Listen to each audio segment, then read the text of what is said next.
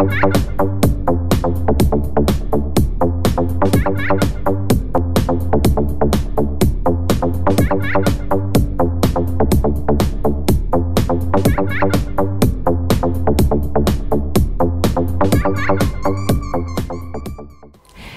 Podíváme na to, jak preventivně chránit vztah před rozpadem. Zdali to vůbec jde a jak to dělat pomocí komunikace.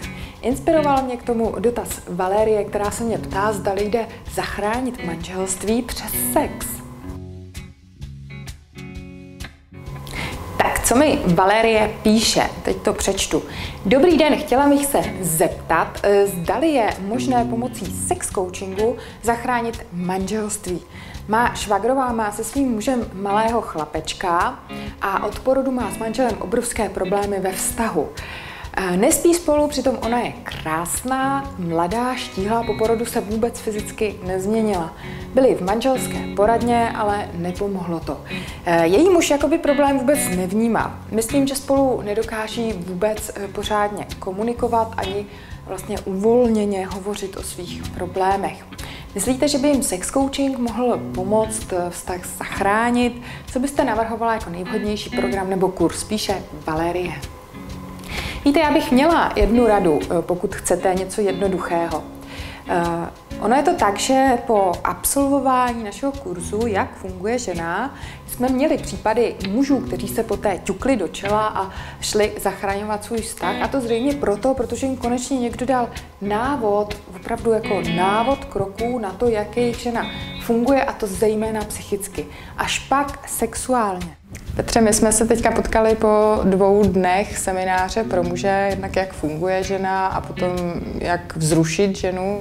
Uviděl jsem jakýsi, jakýsi spot v televizi. Ta věc mě docela zaujala s tím, že prostě máme s manželkou už eh, žijeme x let a že prostě jsme dosáhli jakýhosi stereotypu a, a že si přestáváme rozumět ehm, můžu říct po těch dvou dnech, který jsem tady strávil, tak je to úplně úžasný.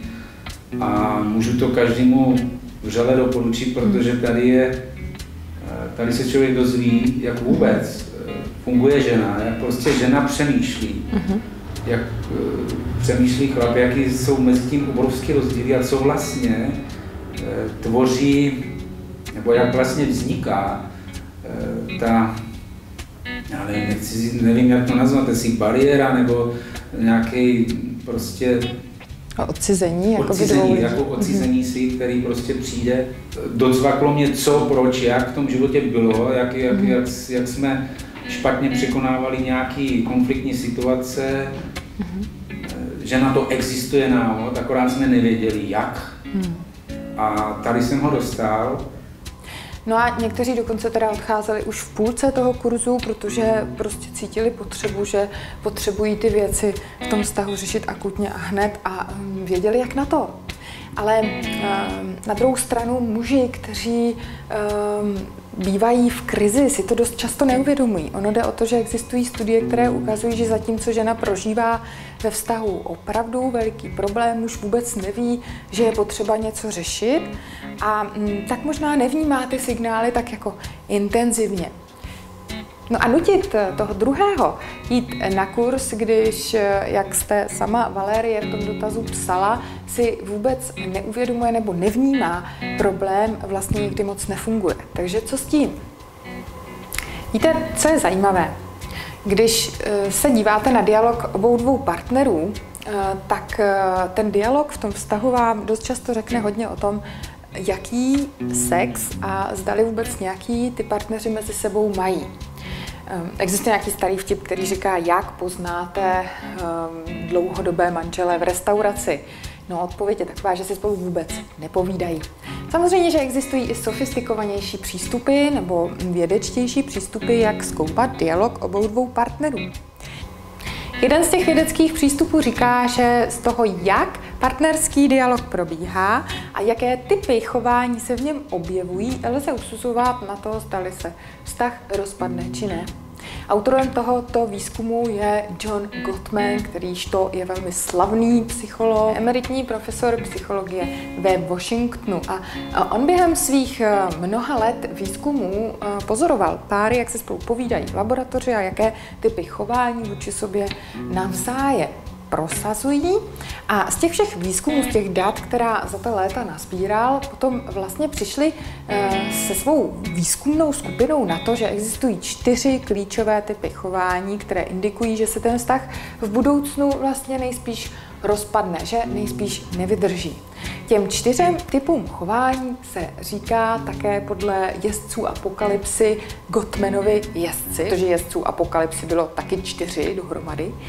A e, tyhle ty čtyři typy chování jsou klíčové pro to, abyste věděli, jestli se v tom vztahu neděje něco špatně. Naopak, pokud ve vztahu tyhle jezdci nejsou, dá se e, se vztahem ještě pracovat na jeho obnově. A já znovu připomínám, že e, sexualita, kvalita sexu ve vztahu je projevem celkové komunikace ve vztahu. Je to vlastně takový druh nonverbální komunikace. Celý sex je nonverbální komunikace.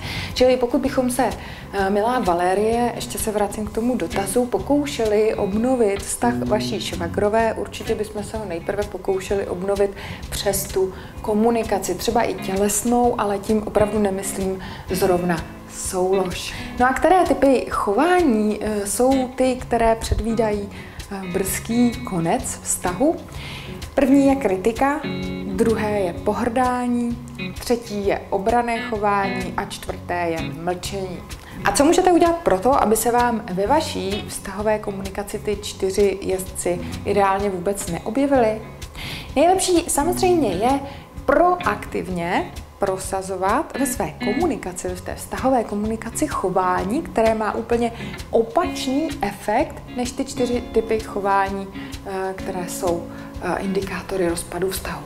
No a jaké chování vlastně má ten efekt té prevence ve vztahové komunikaci a které dovednosti se k tomu potřebujete naučit? To si řekneme na www.sex.cafe.cz na našich stránkách, kde najdete pokračování tohoto dílu a můžete se dokoukat po registraci svým e-mailem na úplně celé toto video. Zároveň eh, získáte přístup na týden, testovací přístup k celému našemu archivu, takže se můžete podívat, jak vypadají různé další typy eh, pro váš erotický partnerský i komunikační život ve vztahu. A pokud se vám naše videa líbí, tak nás můžete podpořit celými 99 korunami na následující další dva měsíce, kdy každý čtvrtek obdržíte nové video. Takže eh, pojďme se podívat na typy chování, které budou preventivně váš vztah bránit a chránit proti těm Gottmanovým jezdcům. A pokud vás to nezajímá, tak se uvidíme zase příští čtvrtek. Mějte se krásně. thank you